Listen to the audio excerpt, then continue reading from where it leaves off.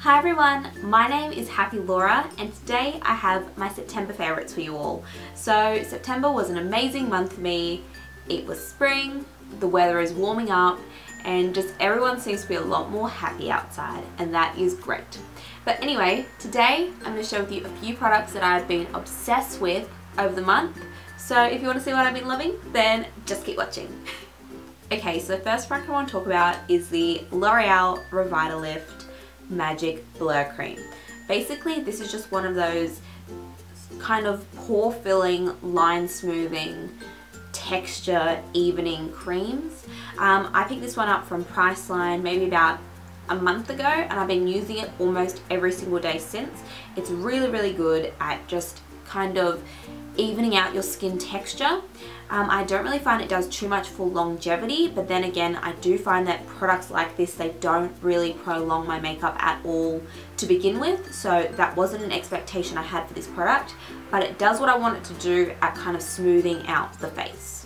So moving on from that primer, I want to talk about foundation. This is the Dior Skin Star Foundation. I've had this in my collection for quite some time and I've only really started enjoying it. Um, I love for the fact that it has SPF 30 in it, just as more of a top up of SPF because I feel like you can never have too much SPF on a daily basis. Um, it looks beautiful on the skin, it's very very lightweight, it's not overly matte but it's not overly dewy either. It's just a very very nice medium texture. It's definitely not a full medium coverage but it is a nice happy medium coverage that is buildable if need be. I have mine in the shade 021 and I feel like that does match my fake tan quite well. Coincidentally enough, I don't actually have it on my face today, but I have been wearing a lot on an everyday basis for the month of September. This is really, really nice. Another L'Oreal product is actually a skincare item that I've loved using before I use that Revitalift Magic Blur Primer or that foundation. Um, this is the L'Oreal Skin Perfection Concentrated Correcting Serum. I don't know if it really corrects the skin all too much just because I don't really have that much that really needs correcting but I do notice that it does make my skin very very very smooth like I don't know, it's just, it smoothed my skin so well and I feel like it's an amazing product to put on my skin first, go in with a moisturizer and then go in with that L'Oreal Revitalift and I feel like it's just the most amazing combination. For matte eyebrows, could you imagine if like you had no eyebrows? Anyway, so I want to talk about the Illamasqua brow cakes. This is literally throwing it back all the way to like 2011, 2012, 2013. I used this product religiously back then. It was the only brow product that I even owned, let alone used. Um, I use the shades Motto and Thunder. I mix them together to get my own custom shade because this is way too cool toned and this is way too warm toned for my eyebrows. So I kind of just mix the two and it gets perfect color. They do sell a color in between this, but when I first bought them, they were sold out of that shade, so I just bought the two. The reason why I love this, it is a, it's the ease of a powder, but it still has the longevity of a pomade. So I remember when I was buying this product, the person told me that there is like, it's like a wax complex to it that doesn't make it like, if you touch your eyebrow, it's gonna fling off kind of thing.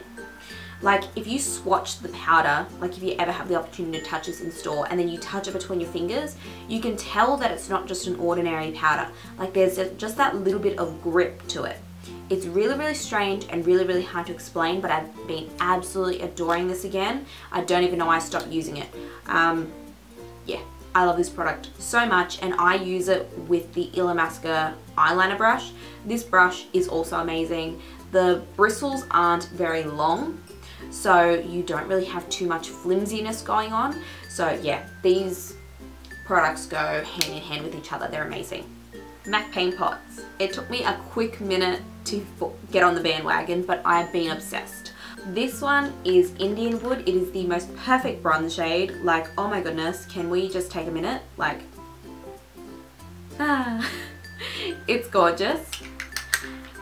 And then I've also got soft ochre. This is more of just a very, very simple base that you can just use over or under, should I say, any eyeshadow. I do have soft ochre on my eyes today, but obviously I've got shadows over the top so you can hardly see it. But it does make a really, really good base for pigments to stick to. So if you're in the market for like a, a pigment kind of sticky base kind of thing, check out the MAC paint pots. They work quite well for me.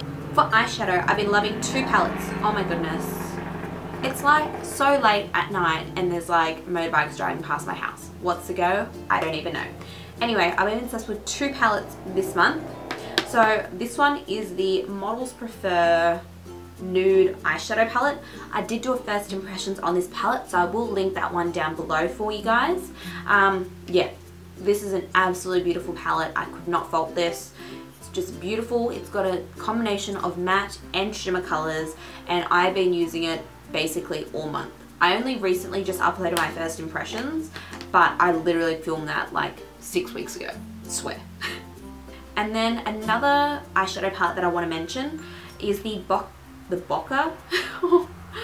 oh my god, it's time for bed for me, I think. This is the Becca Ombre Nudes palette. Now the reason why I'm mentioning this palette in a video, when you look at it, it's very, very basic shades, but this is the only eyeshadow palette well these are the only eyeshadows that I've ever worn alone and someone's been like I really really like your eyeshadow like I've never had anybody in my whole life compliment me on like my whole like eyeshadow color. Like they've been like oh I like that sparkly color on the inner corner. Oh, I like your crease color. Oh or oh I like your lid color. But I've never had so many people in my life tell me I love your whole eye look. And the only time I've ever had that compliment is when I've used this palette. Um, it has been the palette that I've been reaching for every single day so I really want to show you how I've been using it.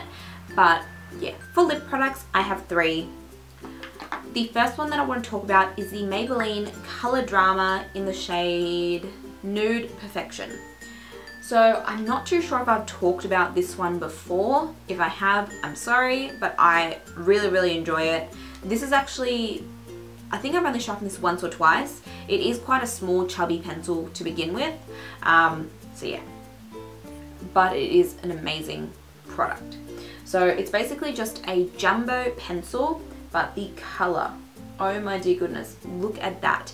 Do you see how gorgeous that is? Like it is the most perfect nude brown shade. It's not completely matte. It does definitely have a satin component to it, but it is absolutely beautiful. Okay, so I want to talk about the Bourjois Rouge Edition Velvet liquid lipstick kind of thing in the shade Ole Flamingo. I don't know how to describe this because it doesn't really dry on the lips. It kind of just blends in with your lips and there's no real product that kind of dries on your lips.